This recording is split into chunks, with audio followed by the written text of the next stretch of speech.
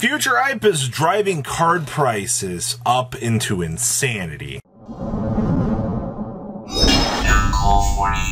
Alright, we're to have a discussion today. So, for the 30% of you that have not smashed the crib out of that subscribe button, smash it so you guys don't miss out more Oz content. We're to be talking about everything that's been going around in terms of all hype right now. I We're to talk about this uh, Solda a start here. So, with last night's releases, everybody has lost their mind over the fact that dinosaurs are getting some huge waves of support here. Now, you got to ask yourself, was it expected?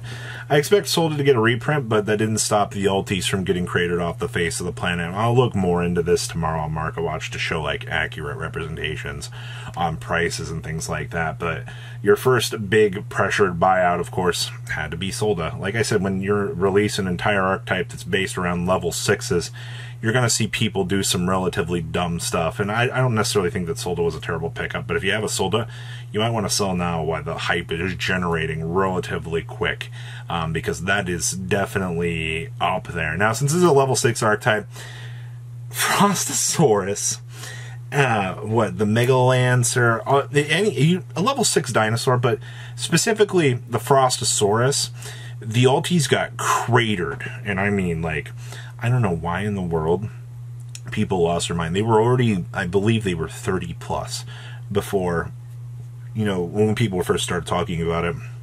And then people with the deep pockets came through and they're like, an Alti?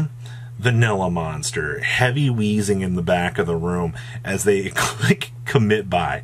And, you know, we're missing one card for, you know, the new archetype, but people, they just want to, they see Vanilla Monster see, you know, the what is it, the Rex special out here, and people lose their mind on the overall potential to pick that up, and that really mind boggles me. I didn't think we would see Ultifrostosaurus getting cratered off. Now, I do want to mention here that there is a chance to pick up the Brachioraidus. Now, you're probably like, what in the world? Robbie, you're making these cards up. No, this is a card from Legendary Collection that is a level 6 normal dinosaur.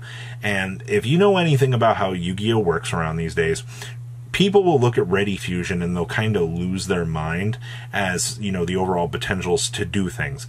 That's why I want to mention here with all the dinosaur stuff that's been going around.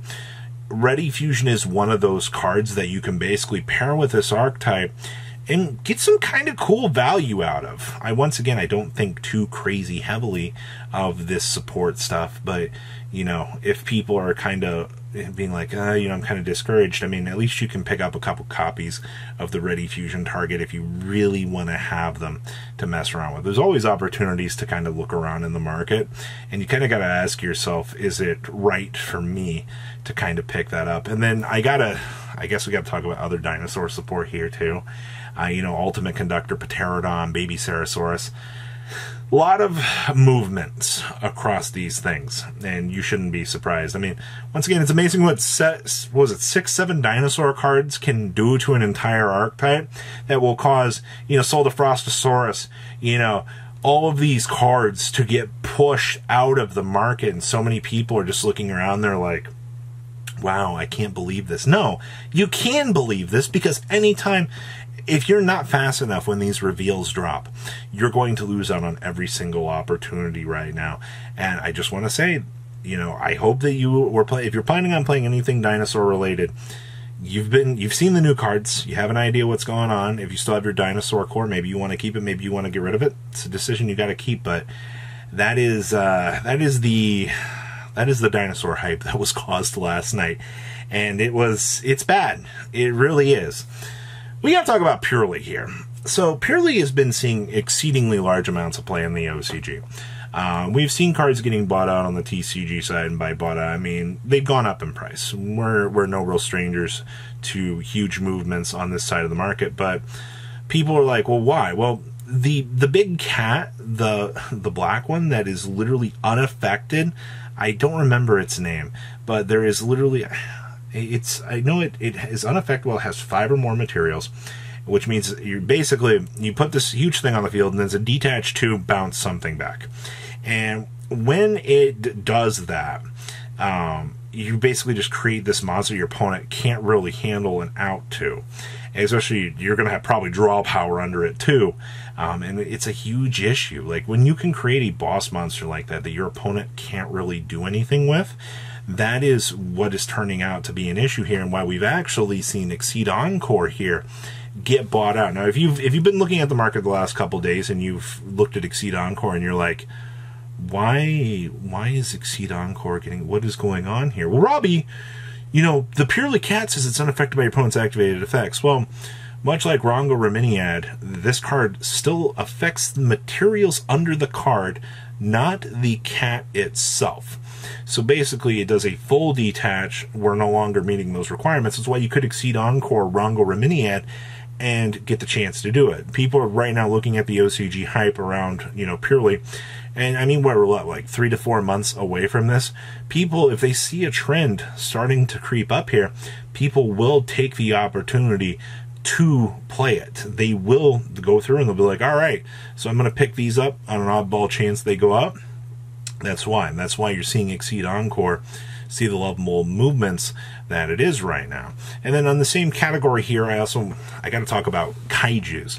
Um, right now, the way that the TCG is set up is you're going to want more outs. I guess you have like lava golem and stuff here versus kaijus. But right now, the big thing is kaijus are going to be another out to the cat.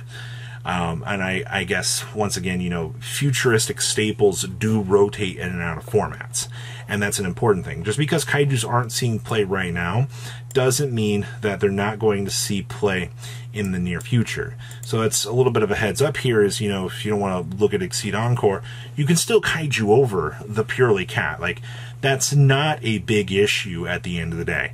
All right, you have the ability to do so. So if you think the Xyz Encore buyout is not something that is really good, kaiju's out it the exact same way. It just kind of depends on, you know, your interactions and things that you're kind of setting up for that. So heads up with that. Now, there's also the Lava Golem Sphere Mode thing right now. Um, right now, we're seeing Lava Golem starting to boot up and disappear off the market. I'm not entirely too surprised about that simply because of the fact that the TCG format, you need to be able to have cards that can handle larger amounts of monsters, you know, versus the OCG where one boss monster shows up the TCG's power scaling is much different. So that's why you're seeing movements in Lava Golem and Sphere Mode right now because they're immediate checks to what we're seeing here. And that's why I bring up, you know, Kaijus if we enter into a slower format where you can have those one for ones. Both of these, actually all three of these, all serve very different purposes and they can clean up wider ranges of monsters. And a lot of people kind of seem to to misunderstand that fact that every one of these monsters serves a different level of cleanup, and that's what you really need to be aware of here at the end of the day. So, cleanup IO 9 for the lava golems, the sphere modes, and the kaiju aspect of things. And then, of course, there's Book of Eclipse. I, will have a much better um, analysis of this card coming out later on but we are seeing some pretty huge movements right now in Book of Eclipse. Wow, it's not like we haven't been seeing that for the last couple of months. It's almost like people are main deck in the Book of Eclipse right now to stop Kashtira because Kashtira putting up a board isn't really that threatening if everybody's face down. Who would have guessed? I love the fact that we're seeing these immediate outs right now actually, you know, getting cleaned up on you know this side of things. So i definitely wanted to point that out that uh, I, am sure many of you have already seen it as well. You really this this one's pretty obvious in terms of you know value crazy. The good thing is there are budget alternatives available for book of eclipse. It's not like this one's going to immediately break the bank. So kind of keep an eye on that one. The higher rarities have definitely been a ride to watch though. So so many stupid things happening within the course of the game. It is so interesting. And the last one I guess we got to talk about here is Aratama. Yeah, the Spirit that searches Sakitama. Sakitama gives an additional normal summon. Seeing this in all these rank 4 decks right now. Um, I talked about this last week. Uh, the cards started to kind of go a little bit more crazy now the more people have looked at OCG results and they're like, oh, hey, you know, this is actually pretty cool. You know, a splash 5 card spirit package in your deck basically allows you to make all of your Constellar plays live. You get to make all of your plays for Exosister live because you can search for the Martha now that you've got the spirits out of the way. And they don't special summon, they just additional normal summon. So it literally frees up everything that you want. So a lot of things, not a lot of time to really talk about them, but I hope that this kind of puts you in the loop.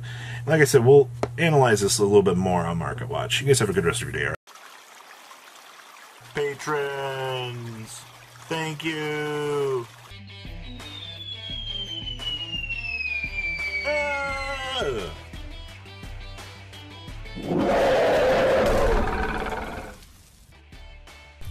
Thank you so much for watching. Check out these other videos.